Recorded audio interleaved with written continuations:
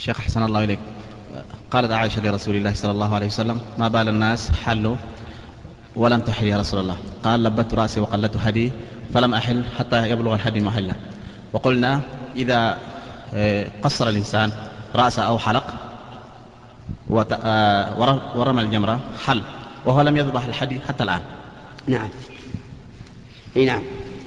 لأن النبي صلى الله عليه وسلم قال لا أحل حتى أنحر لأنه ساق الهدي. أما الغير اللي ما ساق فله أن يقدم ويؤخر. فإن النبي صلى الله عليه وعلى آله وسلم سئل عن التقديم والتأخير فلم يرى في هذا بأسا.